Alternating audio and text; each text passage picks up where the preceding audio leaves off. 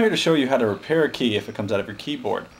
Uh, I have a Dell, so it shouldn't be too much different than most laptops. Uh, just remember that the longer keys, uh, such as the space bar and the shift key and enter key, they have these metal pieces to keep it stabilized. Uh, the space bar actually has these two pieces right here to keep it, uh, whatever. Either way, the smaller keys, however, they're simply just on top of this little spring here and to repair it if this little piece just comes out all you got to do is put it back over where it came out.